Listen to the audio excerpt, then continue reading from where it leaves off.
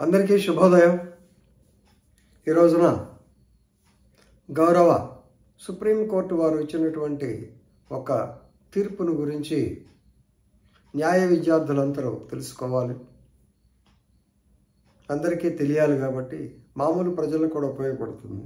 అందరికీ తెలియాలి కాబట్టి తెలుగులో మాట్లాడుతున్నాను ఈ కేసు పేరు S K Khaja versus state of Maharashtra. ఇది క్రిమినల్ అపీల్ నంబర్ పదకొండు వందల ఎనభై మూడు బై రెండు వేల పదకొండు. Justice Bela M Trivedi and Dipankar Datta two judges bench supreme court వారు. ఇరవై మూడు ఎనిమిది రెండు వేల ఇరవై మూడు నాడు ఈ తీర్పు వెలువరించారు. తీర్పులో ఇంపార్టెంట్ ముఖ్యమైనటువంటి పాయింట్ ఏమిటంటే హత్యాయత్నం కేసులో అటెంప్ట్ మర్డర్ సెక్షన్ మూడు వందల ఏడు ఈ కేసులో. దెబ్బలు ఎక్కడ తగిలితే మూడు వందల ఏడు కింద శిక్ష వేయాలి అనేటువంటిది గతంలో చూసుకుంటే మనం ప్రెసిడెంట్స్ అంటాం కదా పూర్వ కేసులో. ఆ కేసులో చాలా చోట్ల ఏం చెప్పడిందంటే దెబ్బ అనేది మనిషి యొక్క వైటల్ పార్ట్ మీద శరీర భాగంలో చాలా వైటల్ పార్ట్ మీద పడాలి. అంటే ఏంటి?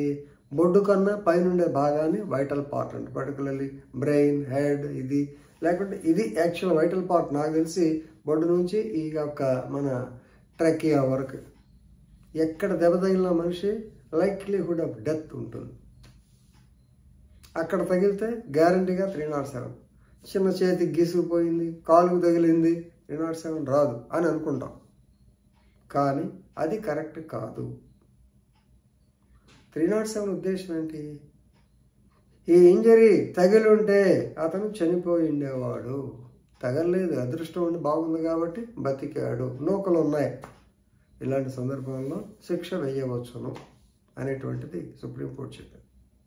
కేసు పూర్వపరాల్లోకి వెళ్తే మీకు సులభంగా అర్థమవుతుంది కాబట్టి ఇది పంతొమ్మిది తొంభై ఐదులో జరిగింది. పదకొండు మూడు పంతొమ్మిది తొంభై ఐదు సూక్ష్మంగా చెప్పాలంటే ఇత్వారా పోలీస్ స్టేషన్ నాందేడ్ జిల్లా మహారాష్ట్ర రాష్ట్రంలో జరిగింది.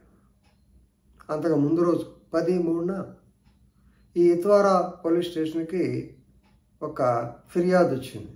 ఏమనంటే ఎస్కే ఖాజా అనే అతను ఆ గ్రామంలో రౌడిజ రౌడీజం చేస్తున్నాడని అలాగే మామూలు వసూలు చేస్తున్నాడని డబ్బులు ఇవ్వకపోతే ఇబ్బంది పెడుతున్నాడని అతని రౌడీ చేష్టలు మేము భరించలేకపోతున్నామని ఆ ఏరియా వారంతా వచ్చి మొరబెట్టుకోవటం జరిగింది. దాని మీద ఆ స్టేషన్ ఆఫీసర్ గారు హెడ్ కానిస్టేబుల్ పఠాన్ మహమ్మద్ ఖాన్ అని ఆయన్ని మహమ్మద్ పఠాన్ ఖాన్ అని ఆయన్ని పోయి ఎంక్వైరీ చేసి రాయా ఉంటే ఆయన బట్రామని చెప్పన్నాడు ఆ రోజున అతను లేడు. మరుసటి రోజున పదకొండు మూడు పంతొమ్మిది తొంభై ఐదున ఎనిమిది గంటల ఆ ప్రాంతంలో ఉదయం ఎనిమిది గంటలకి ఈ యొక్క ఎస్కే ఖాజా అనే అతను గ్రామంలో ఉన్నట్లు రాబడినటువంటి సరైన సమాచారం మేరకు మహమ్మద్ పఠాన్ ఖాన్ మరియు కొంతమంది పోలీస్ సిబ్బంది వెంటనే బయలుదేరి ఆ గ్రామానికి వెళ్ళారు. అతను ఉన్నాడు. పోలీసుని చూస్తే ఉంటాడా? వెంటనే పారిపోవటం పరుగు లంకించుకున్నాడు పరిగెత్తున్నాడు. వీళ్ళు కూడా కొంత దూరం పరిగెత్తారు. దగ్గరలో ఒక మసీద్ దగ్గరకు వచ్చినప్పటికే అతన్ని పట్టుకోవడానికి. దగ్గరికి వెళ్ళిపోయి పట్టుకోబోయాడు పట్టుకుపోయేటప్పుడు అతను ఏం చేశాడు? తన చేతిలో ఉన్నటువంటి గుప్తి అనే ఆయుధంతో అది మహారాష్ట్ర వాళ్ళకి తెలియదు గుప్తి ఏమన్నా మరి కర్ర కర్ర కాదు డెఫినెట్గా స్టాబింగ్ ఉంటుంది చాక్ అయి ఉంటుంది. ఆ గుప్తి అనే దాంతో ఈయన్ని తల మీద కొట్టాడు. ఆయన పోలీస్ ఆయన. వాళ్ళకి ఎలా ఎవరన్నా మీదకు వస్తే ఎట్లా ఆత్మరక్షణ చేసుకోవాలో తెలుసు. ఇమీడియట్గా తల మీద కొట్టాడు తల కిందకి దించాడు. కానీ అది రైట్ షోల్డర్ కుడి భుజానికి దెబ్బ తగిలింది. పట్టుకున్నాడు. పోలీస్ స్టేషన్లో పెట్టారు. అతని మీద ఈ యొక్క హత్యాయతనం కింద నేరారోపణ చేయడం జరిగింది. కింద కోర్టు ఏఎస్జే కోర్టు ఎక్కువ త్రీ నాట్ సెవెన్లో అసిస్టెంట్ సెషన్ జడ్జి చెప్తాడు. అక్కడ ఐదు సంవత్సరాలు జైలు వేశారు. దాని మీద వారు మహారాష్ట్ర హైకోర్టు బాంబే హైకోర్టుకి వెళ్ళడం జరిగింది. వాళ్ళు కూడా కన్విక్షన్ కరెక్ట్ అని చెప్పన్నారు.